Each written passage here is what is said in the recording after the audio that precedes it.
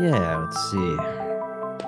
Well, Michael, you want to tell us anything new that's going on in the world? Uh, Billy Meier's new book. You want to drop a little information about that?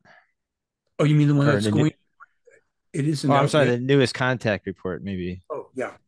I'm The sorry. newest contact report as of today, when we're doing this show, I titled it, I think I titled it, There is No Place to Hide.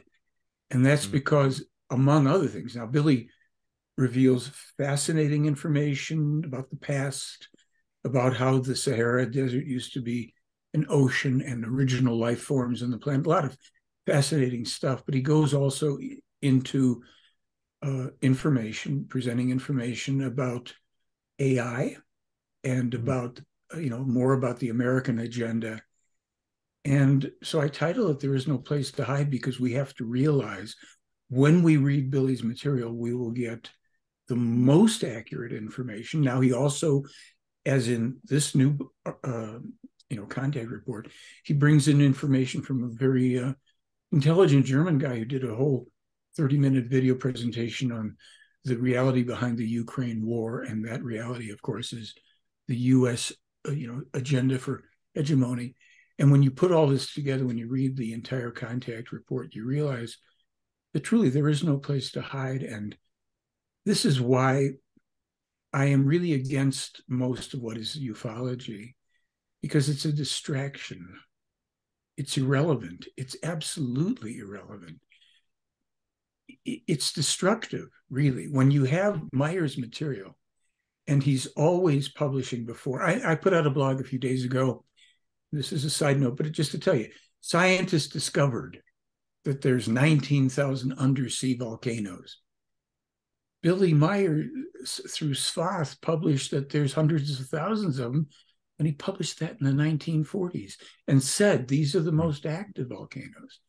And Billy in in we have a you know short film out with Billy uh, introduction to the spiritual teaching in everyday life and in there Billy was talking about Indonesia is going to go under what? Well that started already with undersea volcano this stuff is so vitally important that I I frankly wish on every level that anybody sincerely interested and you know intelligent enough to follow through with UFOs and all would start to focus on this material. It's the only, only authentic contact case, the only one, you know, like the backdrop here. These are, you know, a couple dozen of Meier's photographs, irreproducible. Nobody has evidence like this. And nobody has any significant information for us. None. It's a distraction, it's entertainment, and it's it's mind-numbing because it takes people away from the stuff that Billy and the Pleiad have been trying to warn us about for decades, and it's upon us now, and it's coming in great force.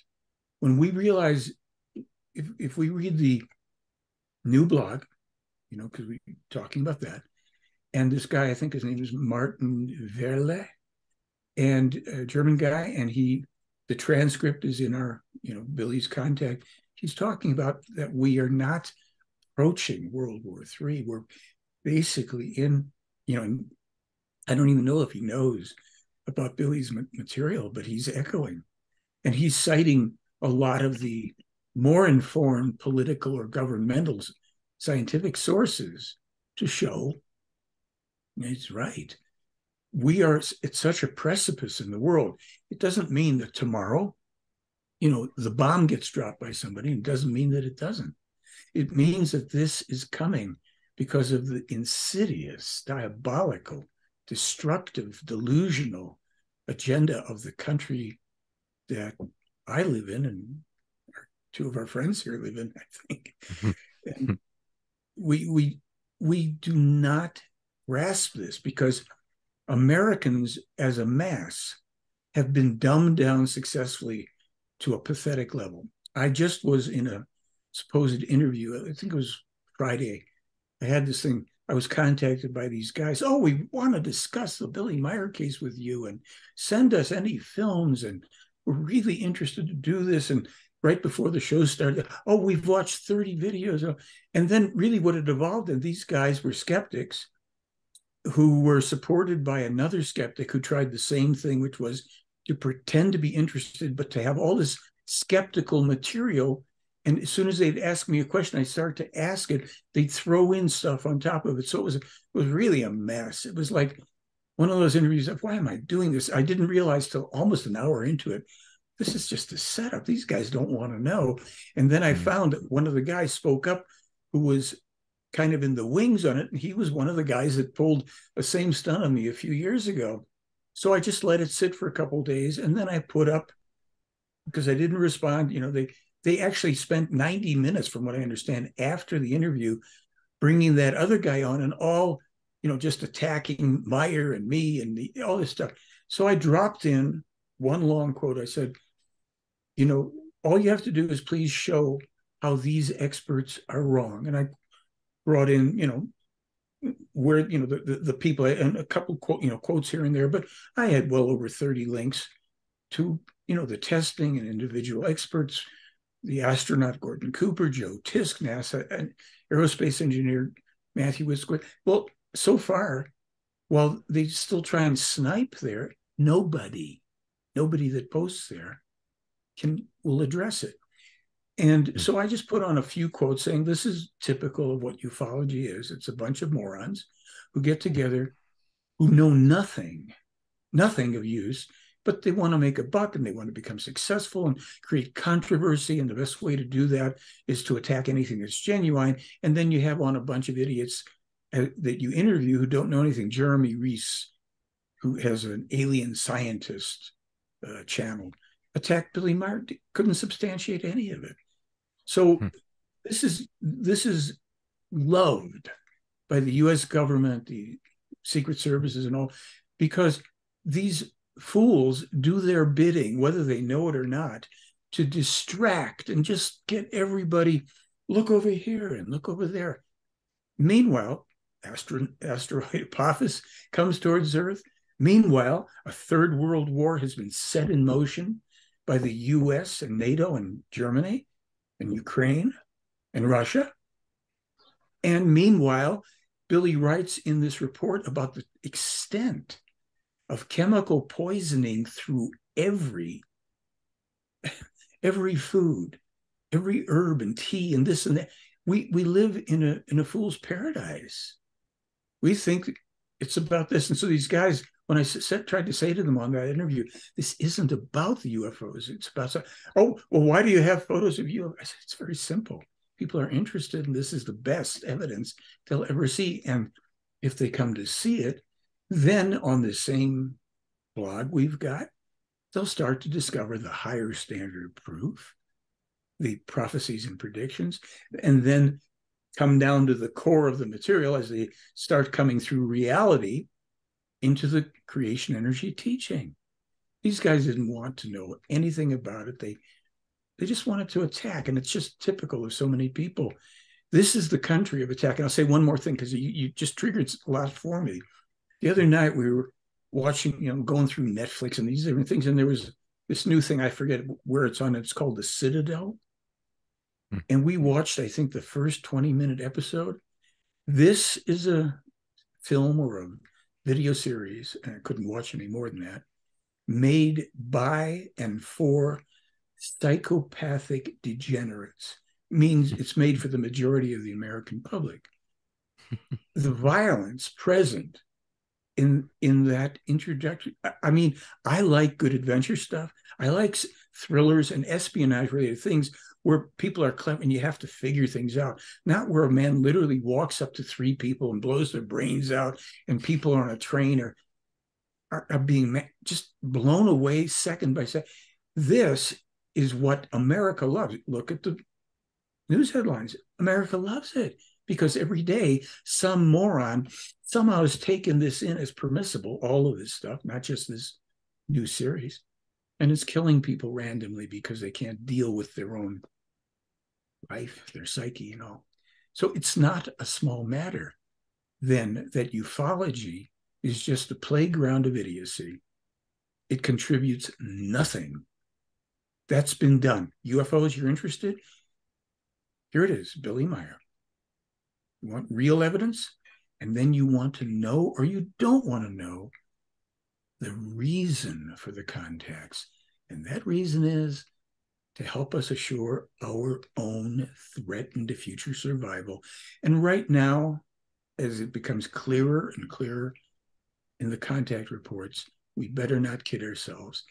This is more than likely not going to make it that long before such levels of destruction are unleashed that whatever we do now that we can preserve like Meier's material and you know primarily it's intended for the survivors. It'd be good to be among them but this isn't for most people today and we have to keep on because you know new people are coming into consciousness and they will be among the survivors some of them.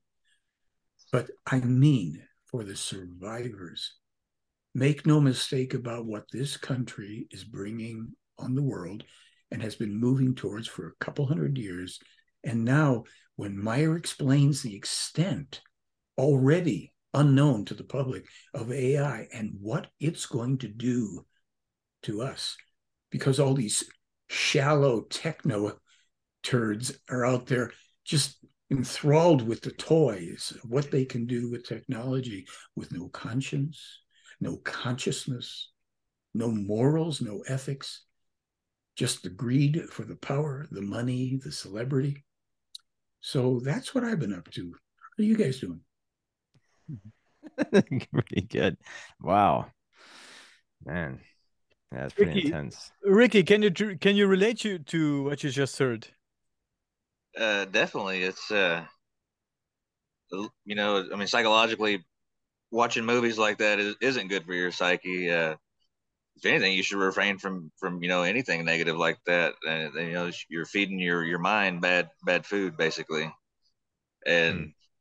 as Michael said, yeah, it's we need like I was speaking with you earlier too. We need to come together as one as humanity. We, um, you know, the way things are going right now, it's, it's no, this is this isn't going to do it. How are we going to stop a meteor, you know, coming towards Earth whenever we're at war with each other? You know, how are we going to explore space or anything whenever we're worried about this country is going to blow our country up? You know, while we're doing all this, is, you know, humanity has to come together to make this work the right way. If not, we're going to be caught up that that certain creek without paddles. Yeah, we definitely have to pump the brakes on the AI too, a little bit. I think it's coming it's a little bit too, too crazy. Yeah, it's yeah. too late. Yeah. I mean, you know, I hate to say it. Look, Billy spelled it out in 1987. See, when these computer controlled weapons can no longer be controlled by wow. human beings, they're self controlling and they turn against humankind. We are at the threshold of that.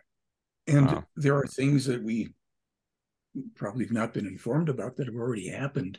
Some that have leaked out about how these certain things are already, you know, demonstrating uh, completely amoral, you know, actions that are these things are programmed. You know, this is a, an expression of Earth human consciousness on steroids with the focus on destruction, control, and power. And these things are seeking that already for themselves. That's what they've been programmed for ultimately.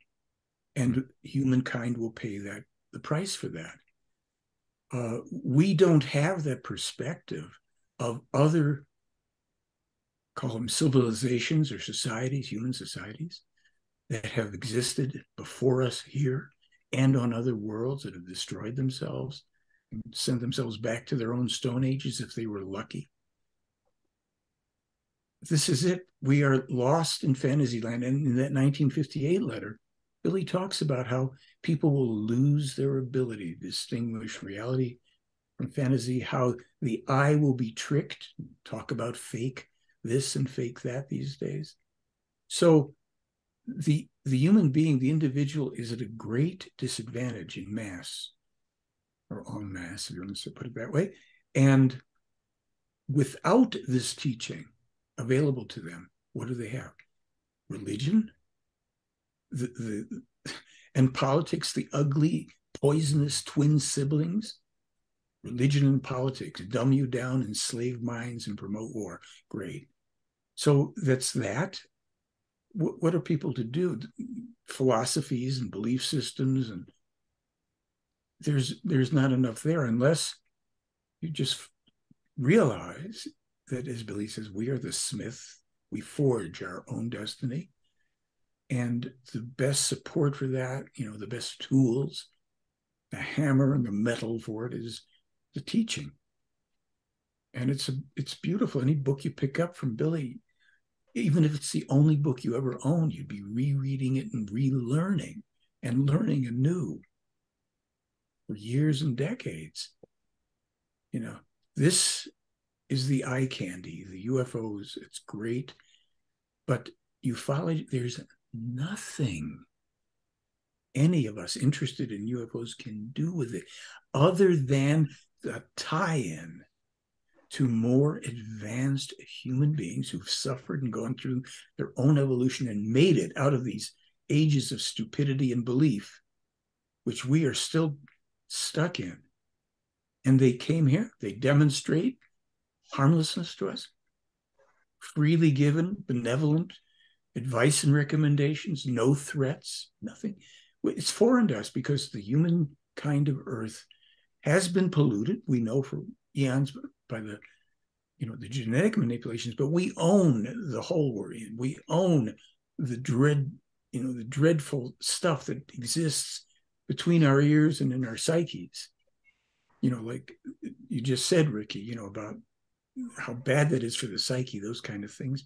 That is about the worst thing I ever came upon TV. And, and of course, you know, it draws you. I, watched long enough to observe this is very well made. This is no expense has been spared. The decor, the realism of people being blown to bits and trains, and wow, this is the American people are, are going to love it. I think they do already. And so it's expressed in the national psyche, in the consciousness of people. This, this country, every day, practically now, there's a, some mass shooting, meaning more than just one or two people, and on and on. And it's not just because it's not because this has just gone on to TV or whatever. It's because this is a reflection of the absolute crap of consciousness that exists as the, the baseline in America, where we elevate these decrepit, power hungry morons into high office, and they are controlled, unbeknownst for the most part to the population, by hugely powerful interests. BlackRock and this and that and that, this family, that. What the average person, Billy said it years ago, all you can do is stick your hands in your pockets. Well, while you're there, you know, flip a coin and decide which book you're going to read that day. Because while we can't bring down, at this stage of the game, we can't bring down this government, it's doing, it'll bring itself down. Billy said, America will destroy itself. And that is true, but it's going to take down a lot of good people and other countries in the process, maybe. So we turn to that which connects us to life and to nature. We get out, spend time in nature. You know, I'm working with certain things to find fairly easily available, let's say amino acids, different things that help people to deal with the stress, to sleep better, you know, certain little things that are adjuncts because one of my main focuses for a long, long time has been health practices and finding out what works and and what you know may not be so good and sharing it with people, you know, in a non, uh, not as a business, but just through through things. So we all have to find out individually now what's important, what what nourishes us, how do we nourish ourselves and others, and reach out if someone's interested. Don't try to press push this on anybody, and focus on the truth. I don't know. It's a little depressing at times, folks. Mm-hmm. Mm-hmm.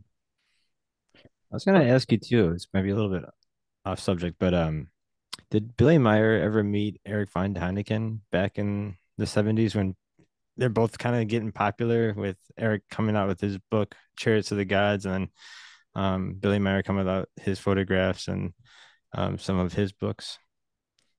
I don't recall if they actually met. It's possible, or that Hmm. Billy saw a presentation of his, something like that. Of Sure. course, Ptaah and Billy have discussed, you know, what Eric Däniken got right and what he's gotten wrong, as is the case, you know, with most things. There's any number of people that have gotten pieces of the puzzle, but because they don't have access, the access that Meier, Meier has seen these things in history. Mhm. I, you know, for himself, through the good graces of, you know, Sfath must have been another one of the most amazing human beings ever to walk the earth.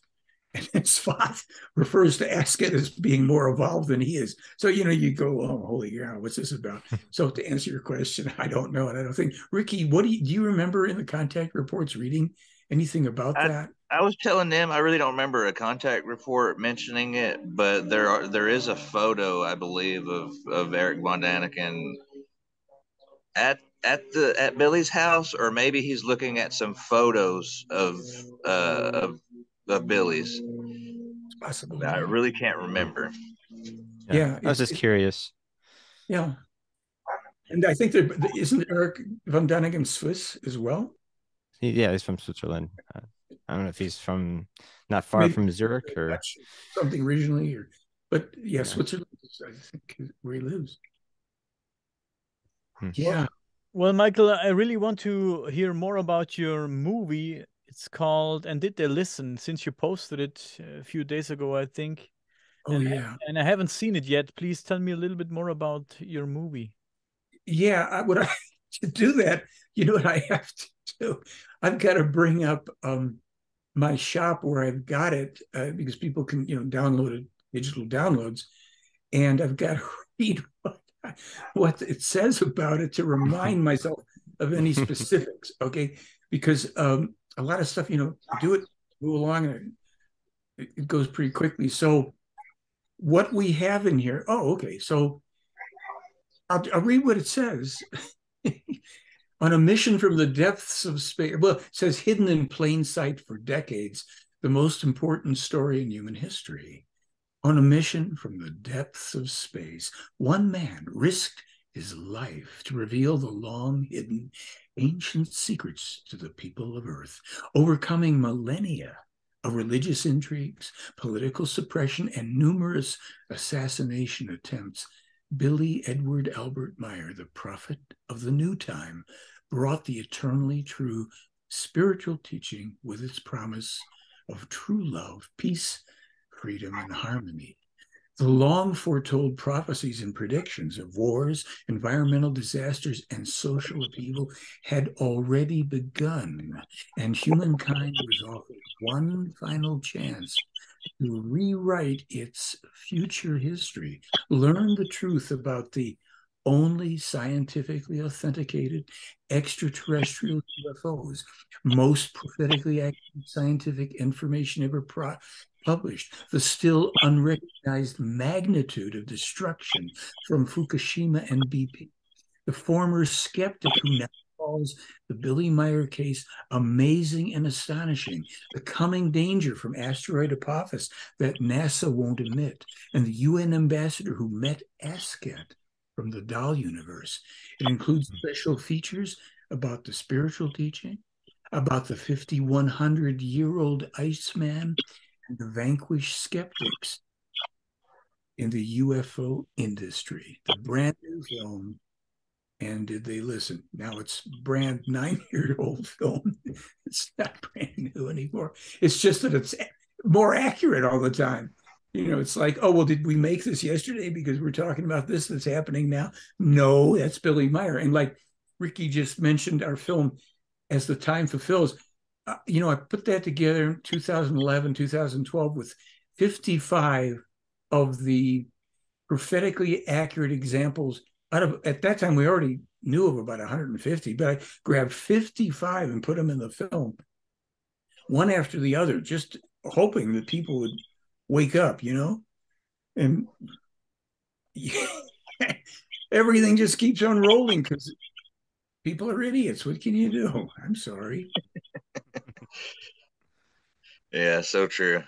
it was a great presentation, though. The way you, I mean, like I said, that was the the icing on the cake for me. I was like, wow, this is you know, as you presented it, how does this man know this much of so many different subjects? You can't, and you can't fake that. You can't. I don't care how you slice it. it's yeah. it's just it's so my see the pro here's the problem. You have so much fantastic UFO information, okay, and then you have so many examples of prophetically accurate scientific, geopolitical people it's like, oh wow, the Tic Tac video. There's a one video, you know, and everybody looks at this video game video from the Air Force, and you know that just they sit there, you know, like drooling like you know puppies or a cat watching somebody drag something across the floor, and then you have got you've got hundreds of examples, and people can't process it because they'd actually have to think and look at it and think some more. And then you know with these prophecies and predictions i i think i've told the story i don't know if you know this ricky but a, couple years back we went up to a place here in, in northern arizona called the usgs and there was a scientist there his name is ken herkenhoff a very nice guy by the way a lot of these people are nice people but here he's working on the imaging from the mars rover right i come up i asked to see him i didn't have an appointment very nice he comes out you know, hey, how can I help you? I say, well, let me give you three pages of info. And when you have time, respond if you would. It was Meier's prophetically accurate information about black holes and Mars and all this stuff. The guy writes back, he doesn't know what to do with it. He, uh, could these be lucky guesses? I said, no, I don't think so, Ken. You know, uh, 12 years before we launched the Mars Odyssey, he predicts it by name. Uh, no, it's not lucky guess. Well, he tries to come back. He says, well, lightning on Mars. I've never heard of it. So I, I go online and finally in 2009, 30 years or whatever after Meier publishes it, NASA discovers, they discover lightning, right? So he then he writes me back after I show it to me, he says, Well, I hope you're not going to try to make me, you know, convince me of this. I said, Well, of course I am. You're a scientist. You should be able to rebut it, right? Tell me why it's wrong. Yeah.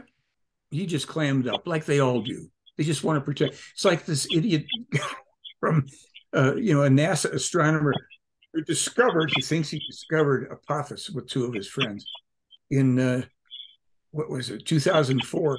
So I published an article saying, you know, scientists discovered his Apophis 23 years after Billy Meier. Well, this guy loses. He just writes these nasty, cynical, smug, can't refute anything from Meier.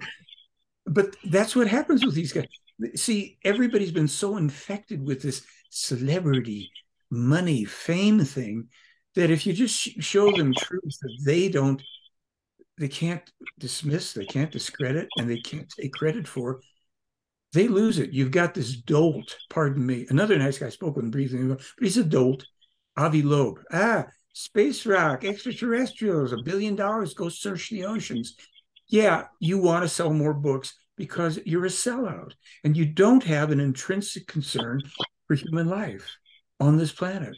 So you're going to chase a piece of space rock and you're very nicely spoken fellow, but I'd invite you to come on and have a little discussion.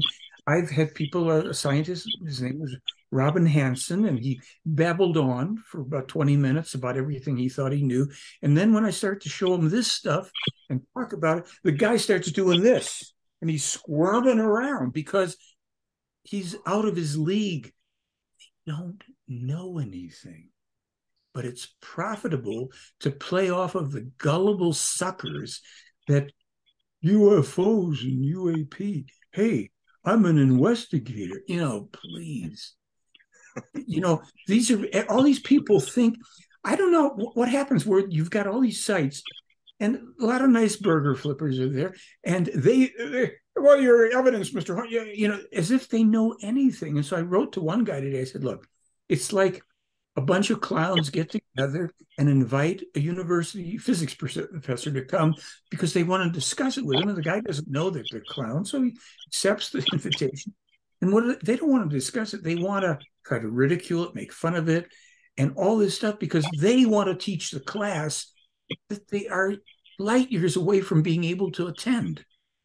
That's what ufology is filled with.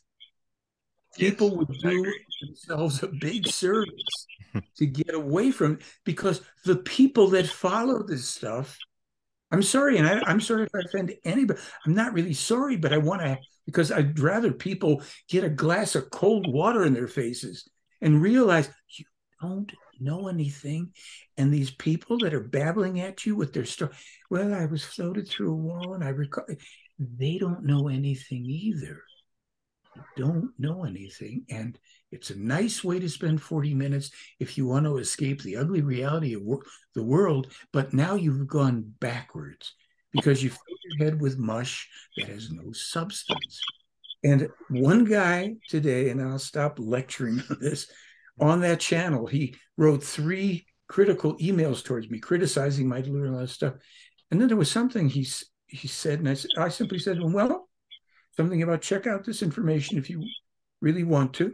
And then he said something about thank you. You know, he actually wrote back like thank you. I said, You're welcome. And um I if you can show that you have, you know, some background, some can think, I'd be glad to interview you so that you could try to make a, your substan- a substantiated claim against the evidence, but you'd have to study this stuff first. You have to demonstrate that you know what I've just given you as your homework.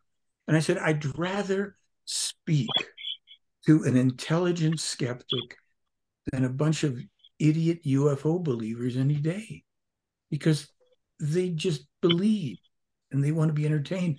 And if you're genuine and you want to come at this case on a factual basis, let's do that. I don't take it personally. I don't even care the fact that you've posted three negative comments about me. It's about do you want to rise to the occasion and come and discuss this? And maybe people will benefit from that. So we'll see what happens.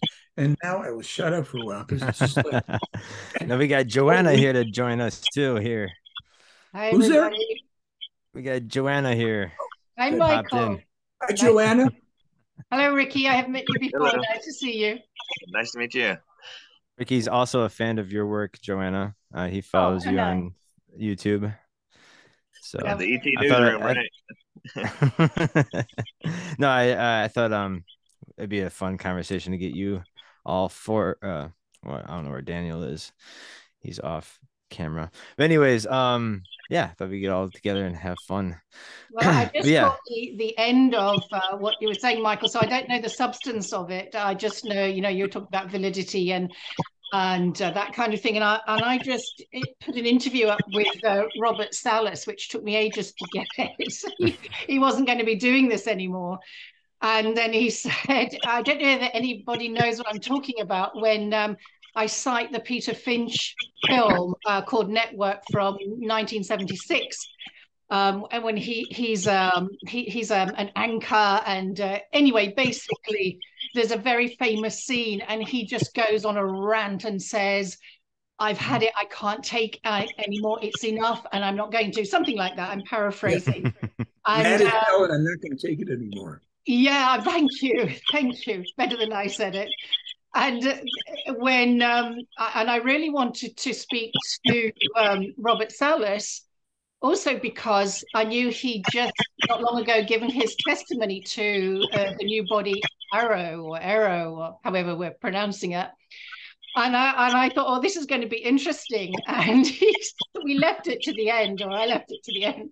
And he said, I'm as mad as hell. And he said, and I'm not giving up, or whatever he said. It's uh, it's on the video. And he just said, you know, at this age, he said, I've done it for 25, 30 years. I really didn't want to be pushing the envelope again for the whole thing. He said, but I have to.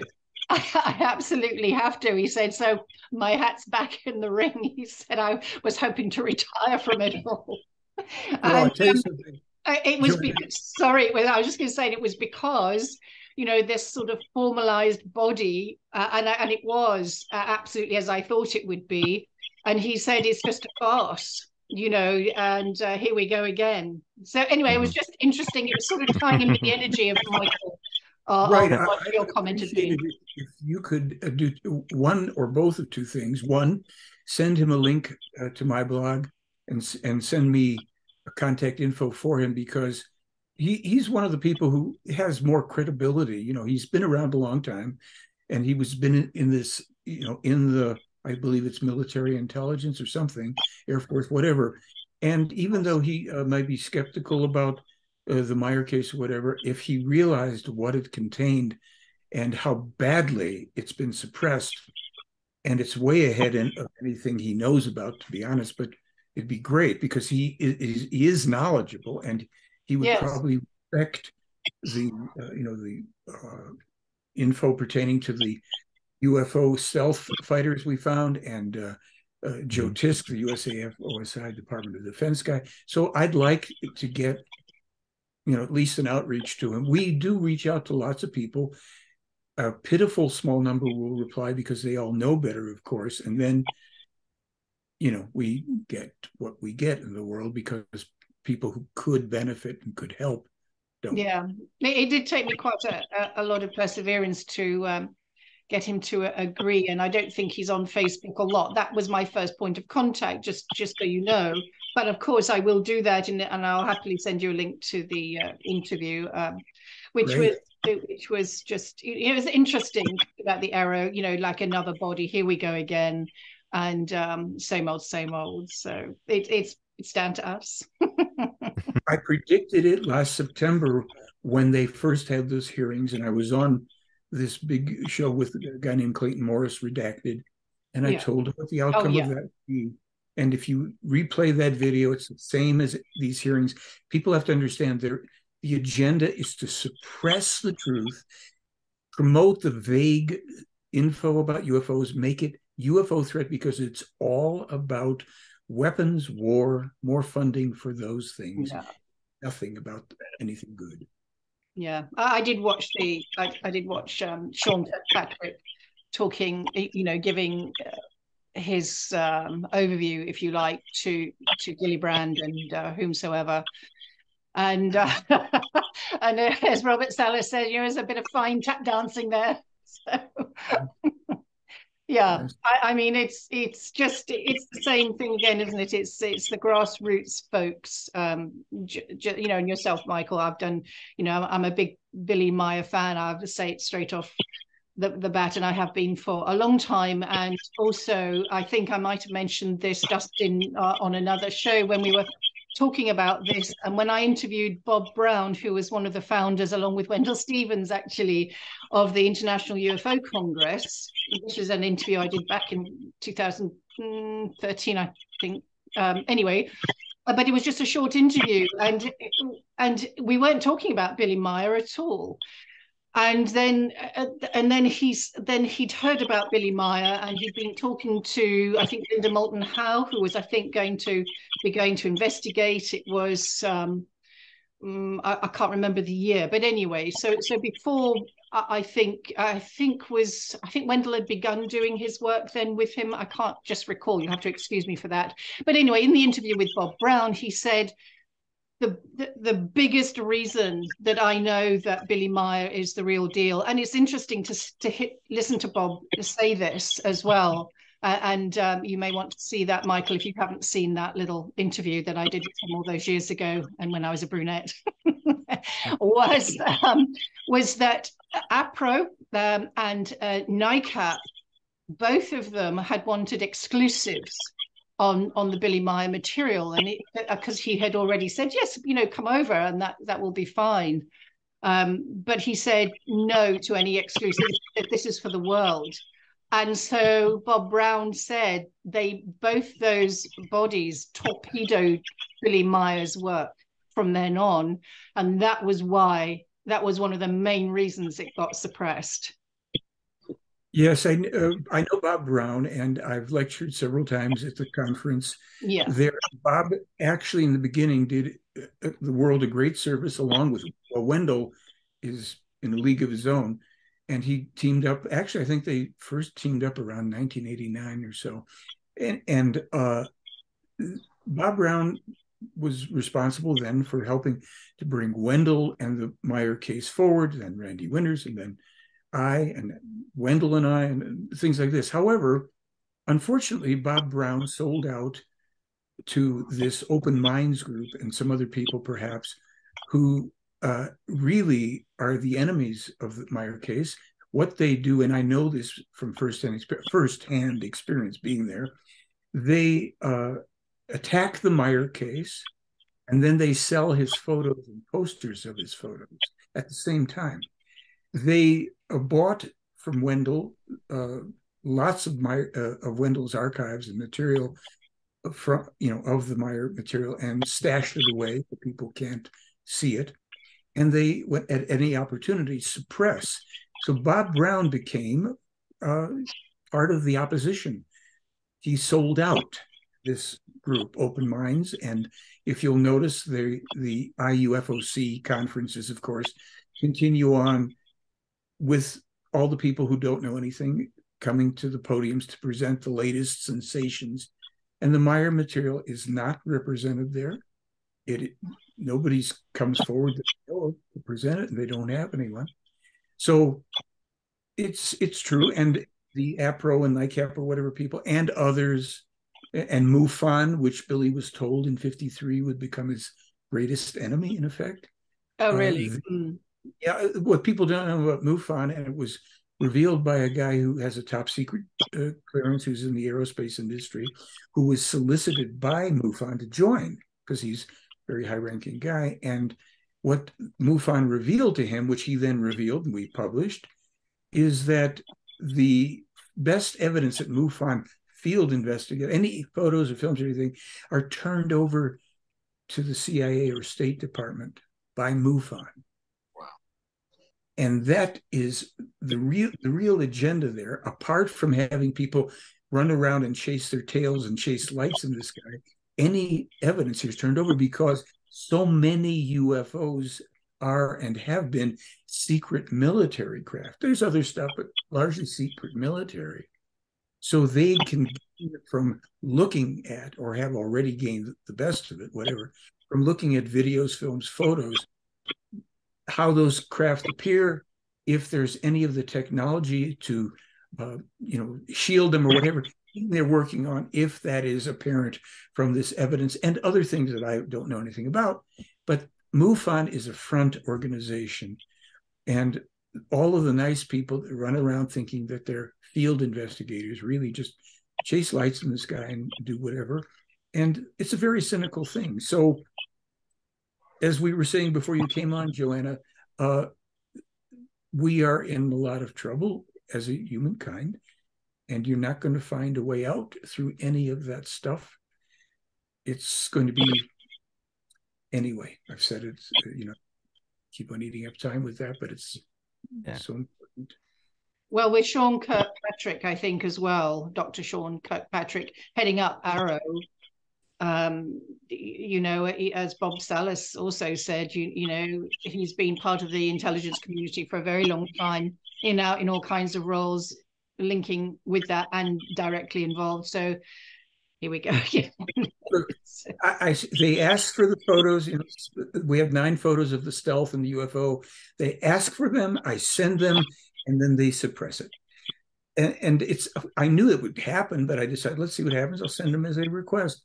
And no one, nobody in ufology, and I offer every time I get a chance, wants to talk about those photos, wants to examine, investigate, discuss them.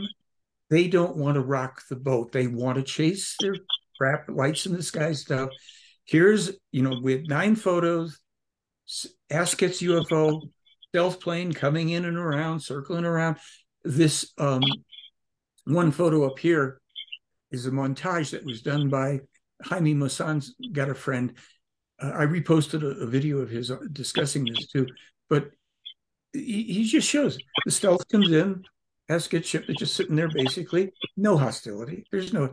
So this does not suit the agenda of the warmongers that are foundational to this corrupt country. So the truth and, and, you know, Wendell Stevens risked his life to take those photos. They would have shot him on the spot if they'd have found him at Area 51. Not one of these blathering idiots in ufology wants to talk about that. I have tried to get these to any of the people high profile. There's a guy named, by the way, there's a guy named Lex Fridman. He's intellectual. Uh, he's a professor AI stuff and this and that. He interviews all the, you know, all the so-called experts he won't he won't even respond to any of the Meier material. And of course, you know, Joe Rogan and there's a Bret Weinstein, all of these know-it-alls, they don't want they're, they're overnight experts. They won't discuss this.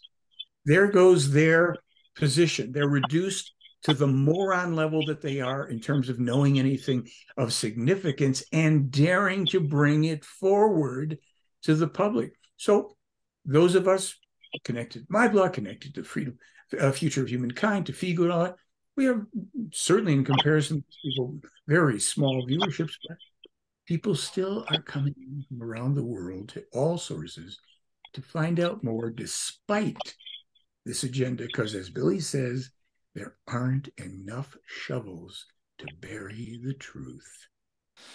I didn't hear exactly what was being said um, about the Mars uh, side of things. I sort of came in on that, but um, again, and this is just something, and maybe it's too random, but I interviewed a scientist called John Brandenburg some a long time ago when I did the Amash files, and he talked about he became very controversial because he talked about how, from his research, it seemed that there'd been a nuclear explosion on Mars. Just talking, really, I'm bringing this in because I know it sounds a bit random, but talking about the Mars and all kinds of different things going on everywhere actually all kinds of different things but he'd he'd found evidence and that was very controversial and his his uh, colleagues scientific colleagues weren't too impressed with the fact that he found that there was had been a nuclear explosion on Mars which had ripped off the atmosphere but he said it wasn't on the land it was exploded above and mm. this was you know many donkeys years ago so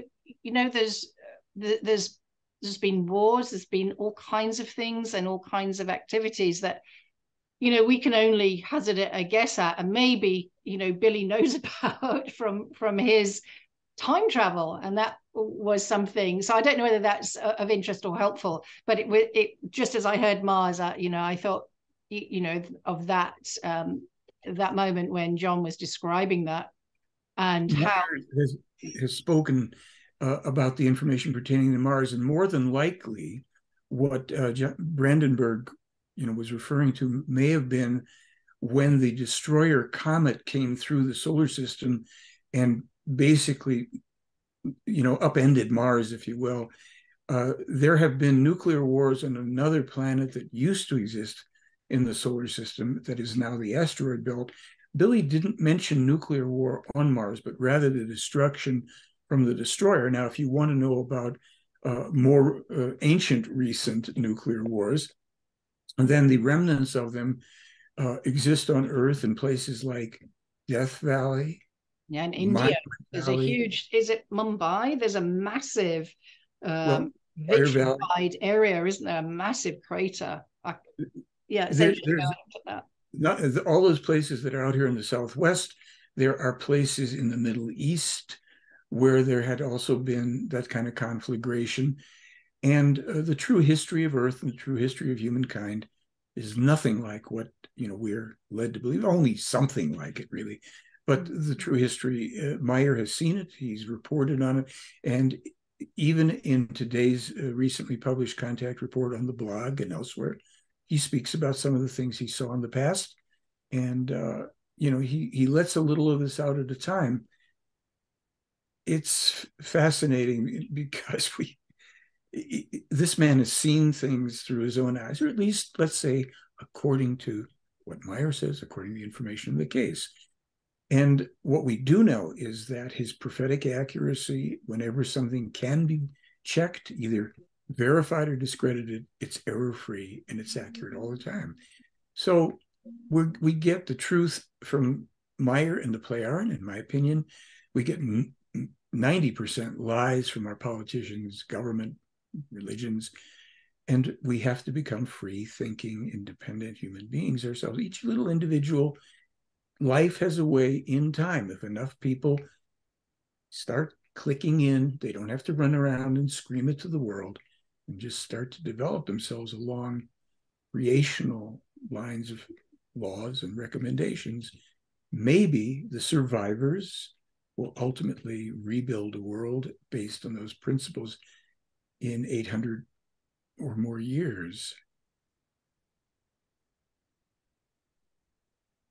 What's the farthest um, Billy's ever gone back in time? I know uh, I, I've heard mention of dinosaurs, but I just wondered if there was um, if way was... beyond that, millions yeah. and millions of years. He's seen and he's described to some degrees at times things before the formation of the earth or before you know when it was still a gaseous ball and and then the primeval times and well before the dinosaurs and uh, you know the comings and goings of not only extraterrestrials but of humankind on earth the peoples that arose and disappeared and land masses that used to exist and no longer do so uh, that information i have a feeling there'll be more of it put into books that'll be coming out there is a new book coming out in August. It'll it's not about that material necessarily, but um, we'll have that book available for people. His book, From the Depths of Outer Space, is, is just staggeringly beautiful. I mean, that's the best adventure story anybody could ever read, and it's all you know, real life from Billy Meier, past, present, and future. And that you know, we I advertise that book because it's a book that anybody could read. I've never been that interested in in sci-fi and once I got into the Meier material, I was only less interested in sci fi because there's no sci fi that compares with the reality that this man has seen and lived already. So it's it's way beyond anything. It's the reality of the the ancestors of the Plejaren, the, the Lyrans or Lyrians, as some people call it, whatever. That's Star Wars on steroids. That's the real deal and the Plejaren, 52,000 years of peace in their world, as they finally set that stuff down and evolved out of that. These their forefathers were these giant extraterrestrials, high-tech warriors, man. It's like that's a whole other thing. And then they had to come to terms with their destructiveness, and they were highly advanced in their technological and you know consciousness skills, but their spiritual development needed a big upgrade and they got it about 52,000 years ago. And uh, we're not fortunate enough to be able to get that kind of an inter, you know, uh, intervention. We've got a, the best thing for us, the intervention from the Plejaren, that actually goes back 13,000 plus years. And here we are, and we're still on the brink of ex- extinguishing ourselves from the from life, literally. What's on wrong with people? Has uh has uh Billy and Asket ever traveled to Asket's home planet in the DAL universe? I think Billy has. I think Billy has been to the DAL universe. He's been innumerable times, probably, or at least numerable, to the uh, the Plejaren world of Erra, mm. and you know, and they've shown him whole other worlds of different, and they've been to another universe in addition to the DAL and the uh, you know, this universe. They the Plejaren entered into another universe that they, I don't know if they took Billy there, but they did describe it. The people's living there are very peaceful people.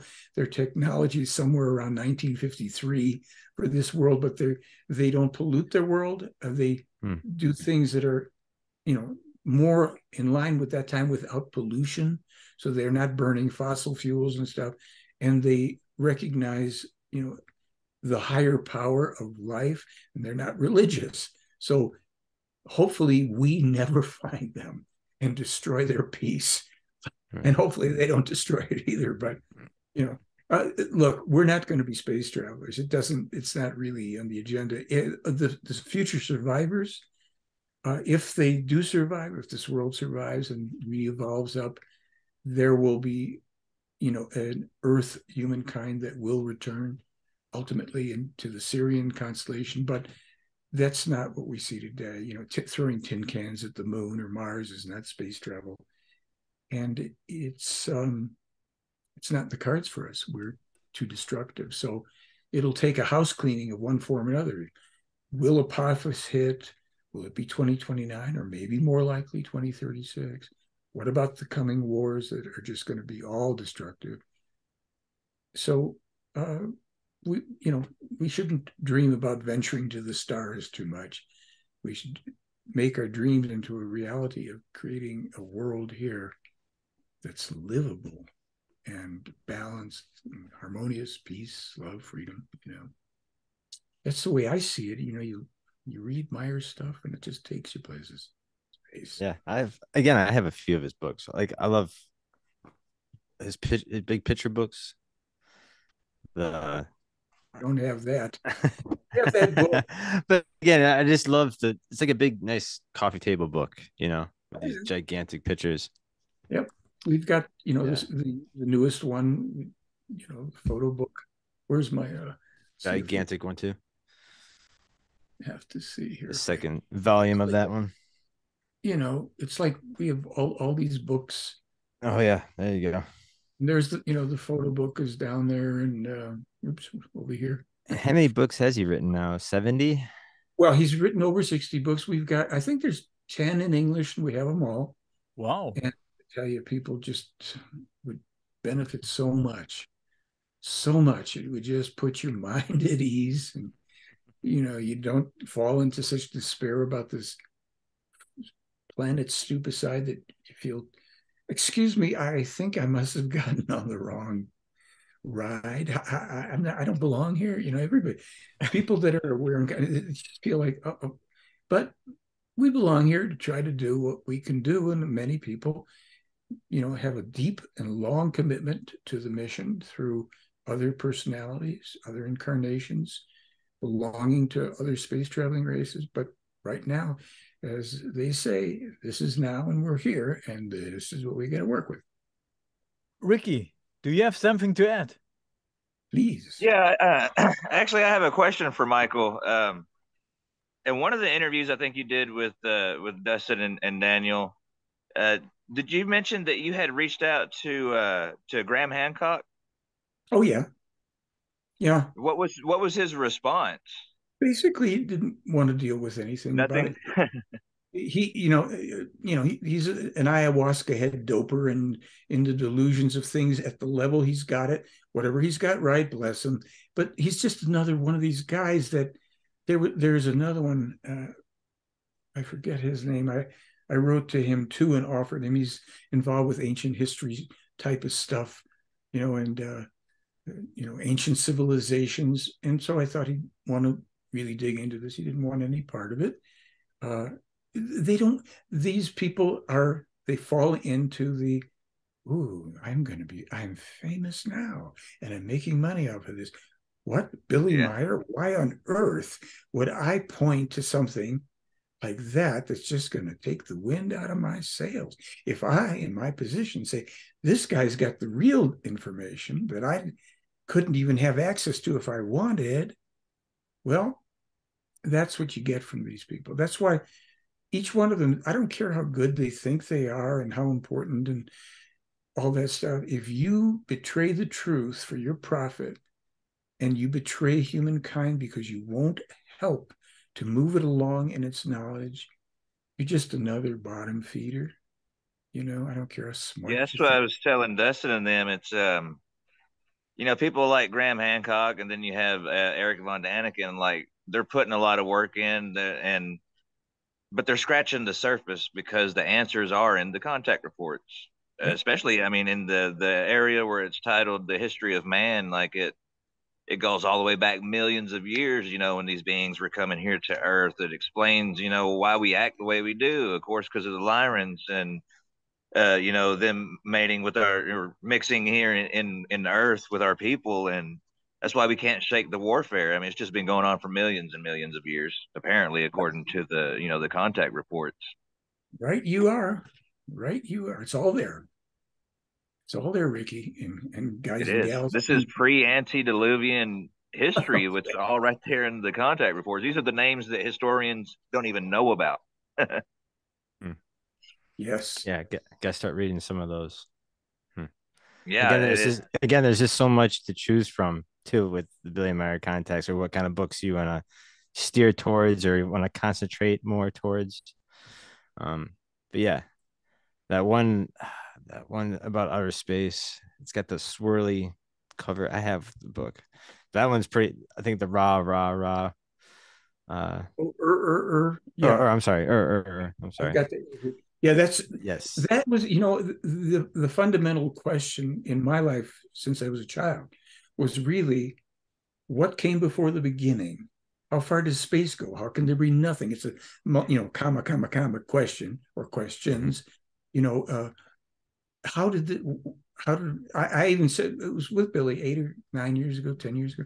I said, Billy, you know, uh, the creation it's it's fascinating, but I want to know what's that thing sitting in? What's the void? What came before the? He said, well, we really don't know. The Plejaren don't, but in the book, Billy tells more. And it's still pretty mind boggling because ultimately he still says the unknowable, the unspeakable. He, he, he can tell us what the first appearance of anything in the nothing was, but still it's the eternal existential mystery. And this, if people even bothered to contemplate these things, but they're they, they're so hemmed in with religion and God created, you know, this absolute BS. They can't even go to tapping into that unknowableness and realize that everything that they clamor for in this world that they would fight to possess and amass unnecessarily and and own is nothing. It's just the material stuff. And we float on a speck of cosmic lint on this planet in a little galaxy in a universe that we think is the universe inside of a creation that is inside of an endless nothing. What do you you want to go bomb the russians or you know go on all the gold in fort knox for whatever it's worth? It's worthless. All of this is worthless without the contemplation of these mm. deep, deep, deep meanings about life. And Billy says the meaning of life is the evolution of consciousness. And that holds in it the great secret, you know, for humankind, the great, great progress, the evolution of consciousness and everything that that entails and brings that we can't even imagine at our stage of evolution. Well, certainly everybody I've spoken to that I've interviewed, you know, who's in the experiencer field or even researcher field who's had some incredible experiences for them, um, that's what it's done. The the bottom line, it, the, the two things, the main thing is love, and the other thing is opening the consciousness, and that is, you know, huge, absolutely huge because it it um, without the experiences these people would not have they, their life trajectory would be different.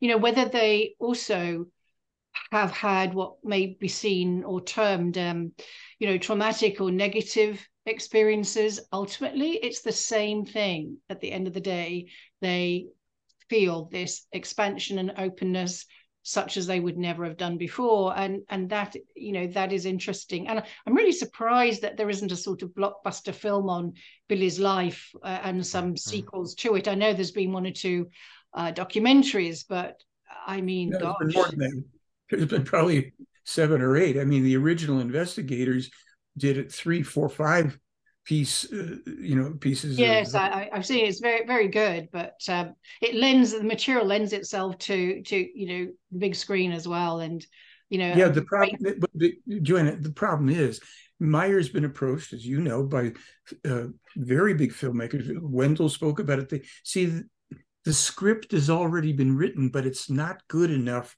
for Hollywood filmmakers. They're going to want to make it more exciting and interesting, and it's nothing is even remotely as close. They if they took the script and decided to make a mega epic in 10 parts or something, and each one was three hours long, whatever, they still would only get service of it. But they just do the script. They have people act it out and use Billy's evidence and footage, and they just do it the way it happened.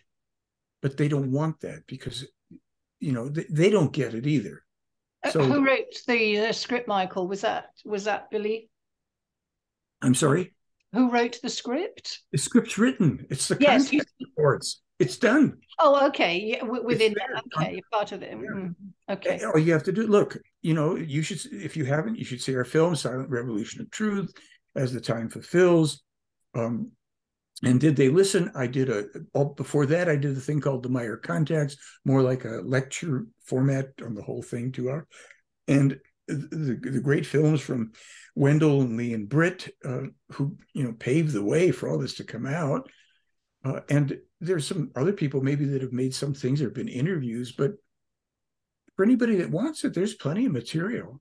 There's plenty of material, and there should be more, no question.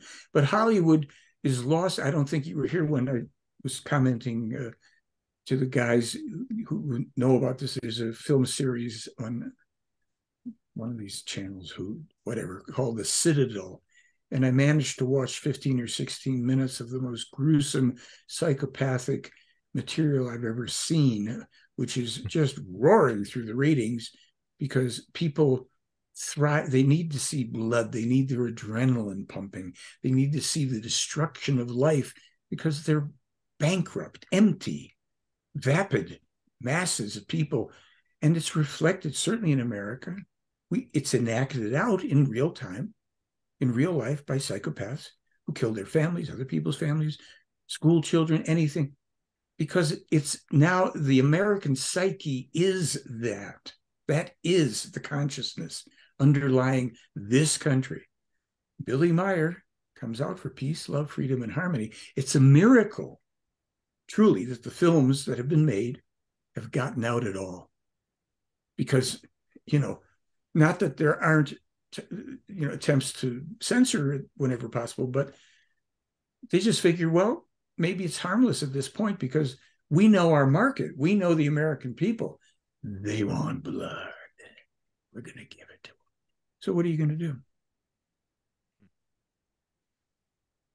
Yeah, indeed. Well, we know that Travis Walton and Whitley Strieber both, you know, report that their you know their their films were not um, they were Holly, Hollywoodized, and uh, well, Whitley least Strieber's probably lucky that his films were Hollywoodized because he doesn't have one single piece of actual evidence. He's a sci-fi writer. Please remember, yeah. Joanna. Yeah. And no, as far as Travis Walton goes, I personally, when I met with him and I spoke with him, I felt he was sincere. He was a genuine guy. And what I got from talking to him was he had a real experience. He doesn't really know for sure what it was. He's honest about the whole thing, and he he doesn't have any evidence, but at least he's he's a genuine person, not parading around, pardon me, like Whitley Strieber with a bunch of gray aliens knocking on his roof. Perfect for the American public. It's great stuff, but it just throws people into more of the BS, evil alien or mysterious threatening. Now, people like us in other worlds, that's not good enough. You know, it's got to be sensationalized so that people can be kept, you know, delightfully dumb. It's uh, what it is. There, mm-hmm. you know, I think Travis Walton. I, I was impressed enough. 2009, I think it was in New Mexico, and he was just a good, straight ahead guy. Now, maybe to come out that he made up the whole thing, I don't think so. I felt he told his truth as he knew it. But and it as far as it could go he could only say this is what my experience was but he couldn't come he didn't come away with any evidence like billy Meier. he doesn't have contact with people that's fine he doesn't need to be billy Meier. look at the trouble he's had just telling his hmm. story as this, you know as i say i i got that he's truthful cool. and that's as far as it can go whitley strieber's tales he's a sci-fi writer and mm, clever guy but show me one page of evidence? No, it's not there. So, Whitley, please don't complain about how your films were treated. You probably made a lot of money from them, and that's why you write your books. Cool. Actually, I was actually, I'm glad that you actually said that uh, you're very interested in the Travis Walton case. Um, because again, I don't really hear you talk about anybody else's case. So it's kind of nice to actually hear that you actually you know, believe yeah, him in the sense. Everybody does. You know, I'm sorry. Go ahead. I'm sorry. no, you're good. No, I, I again, I I don't want to make. Uh, I just want people to know that you do uh, believe other cases other than Billy Meier's. Uh, it's just good to hear you talk about Travis Walton. That's all. Well, I, I don't believe it. I mean, I could say I think my my reasoning was that Travis Walton was sincere and genuine. Sure, I can't tell you what his experience was. I've looked at you know people think I haven't. I've been at this thing basically since the 80s and once I got into the Meier case naturally and Wendelle all these books and cases supposedly but there's no there there. There's interesting stuff. Sure. and there's sure. stuff that seems like, well, maybe something to that, but there's no evidence. There's no Sure. evidence. There's no evidence. So what of what use is it to me? It okay, it could propel my interest, but there's there's nothing there. It's like, why bother nowadays? It's Mm. it's that old story about everybody's looking for the mother lode, the gold mine. Some miner stumbles into the bar one day and says, I found it. I found the mother lode. He's got all this gold in it. What? And so somebody else walks in and says, Hey, I heard that there's a mine somewhere that might be, and it's and anybody with any brains in that bar says, Excuse me, this guy here, he found the mother lode. He's got the map, and guess what? He's giving it away for free. That's what the Meier case is. Mhm. Again, why bother? Why entertain ourselves in a world where everything is coming in, coming down on humankind and the planet? Why do we want to watch cartoons about the real thing? Cartoons, make believe. People who imagined they had an experience or they had experience. Look, I'm sorry. People say, well, I'm an experiencer. What does that mean? You saw something in the sky? You think somebody floated into your room and was glowing and telling you stuff? That's nice. It's, what it just kind of debases the, the term experiencer. It just means something happened, you think, but you can't prove. And so what? This is the mother lode, folks. You can find out, you can try and prove it wrong, but you have to dig in to find out. You got to, and guess what? You don't have to trudge through the Sonoran Desert. You don't have to have a mule and one canteen to get you 20 miles. It's all, there's so much free stuff that you'll never make time for all of it. And yet it's all there. And then if you decide to really learn what it's about, the books. Why the experiencer cartoon stories?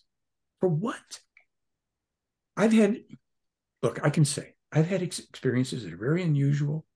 And actually, I have evidence about the information I got in 72 that's come true since then, specific stuff.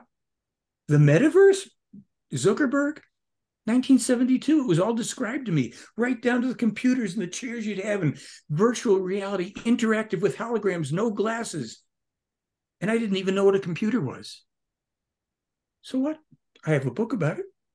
That's nice.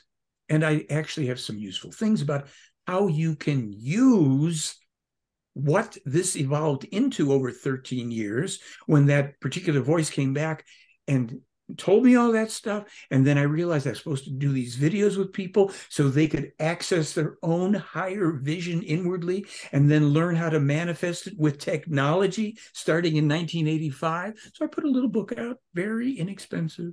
You can use your cell phone to progress yourself and get into the spiritual creation energy teaching. And then you don't need the technical tools. But I got all this in 72. So when these people are coming forward and telling me about their BS stories with ETs and all the rest, I know it's B- BS. Three different the healing modalities described to me in 1972 that all sequentially came true, but it's not okay. It's interesting, and yes, I can Oh, prove it. I, would, I, I don't know about what happened in 1972, and I'm sure there's a lot of people. I don't know if Dustin and Daniel and Ricky do, but I certainly don't. I'd love you to just give us an overview of what happened. You know, well, in all fairness, uh, look, I love to tell a story because it's it's pretty. It was life changing for me, I but imagine. I don't think this is the time to do it. There's four of us here, or five of us, whatever our number is right now, and I'd be glad to do it. We could set up a separate thing, either you know with you, Joanna, or with Daniel and Dustin, because it it turns out to be rather an interesting story. And I've had, I've been within 20 feet of one of the play and monitoring craft and all this stuff. But that's interesting. That's interesting. But it isn't as important as this. I put aside whole chunks of my life where I've done lots of interesting stuff. Not that I threw them out. I just said, this is more important than my personal accomplishments on a global level all my personal stuff's important to me. I've invented stuff and I've been added the game air pollution. I already had an animated series that two friends and I pioneered, wrote in 1968, 69, tried to sell it to Hollywood, and they said, wow, really nicely done, but who cares about air pollution? It was based on space heroes, way ahead of this curve. But when you recognize some singular person who's way ahead of all the curves and who has material of global importance, then you set your ego a bit to the side. Pursue. I write song. I've written 115 songs, recorded songs, written for people. Great, I love that. But I'm not going to let it get in the way of this material. Keep doing my thing in other realms. I do a whole bunch of stuff with health related stuff and all that. This material, no cartoons here, no distractions. It's this real. As far as my future self thing, and I'm, I'm on copyrighted record. I even told the story in 1987 to a, uh, one of the New Age newspapers in LA. It's all there, and everything in there. It's all come true. Boom, boom, boom, boom. Whatever it was, it was. I got that. Probably some part of my consciousness. It called itself its my future self and told me about things that were going to happen, and they happen. I had to be, make that useful. So I found a way to make it useful to people. I did video sessions with people who came back a year and six or six months later and told me, Hey, I used this and this is what I did with it. Just like I did in my session. I made it happen. Yeah, huh? Good. Great. Glad to hear it. I moved on to do something else. And now I, oh, I'll write a little book and anybody can do it. So that's the way it's all about you get back in touch with yourself as your own highest authority, not Billy Meier and not the player. You have to filter that through your own consciousness and take responsibility for thinking through that. And you own your own highest authority. That's you. And I literally created the process where people could go face to face with themselves and interact with themselves visually audio visually 1985 did a whole bunch of that stuff. So be glad to anybody wants to do a, a little show about that I, i'd be delighted. And I'll, i even have a book out on it. It's on amazon. It's on my website. Well, i think Very you should simple. organize that then daniel and dustin. Yeah no we'll definitely organize that. Have you back joanna? Yeah if you yeah like oh uh, yeah i'm sorry. fun. look I, yeah. I, I just because uh, uh, I can't stop here. I got to tell you. Go ahead, please. It's part of a two pronged program that I created, and I created something else called originally called Standing in Spirit or the Consciousness Workshop. I asked Billy if I should do it separately from this material, and he said, "No, do it every opportunity you get. It's part of the spiritual teaching." I said, "Okay, fine." So I've got two things that I'm working on getting the timing to bring again forward to work in conjunction for things that people can use in conjunction with this work. Well, that so sounds awesome. great. And maybe we can hear all about that on the next session or whenever the guys right. Yeah, I mean, if you didn't hear enough just now, be glad to take the details. Cool. Yeah, we'll, we'll schedule something up. Okay. Yeah. Well, we well we wrap it up here for now, and uh, we'll. Uh, well, glad I could join you just for the last bit. we got Ricky here.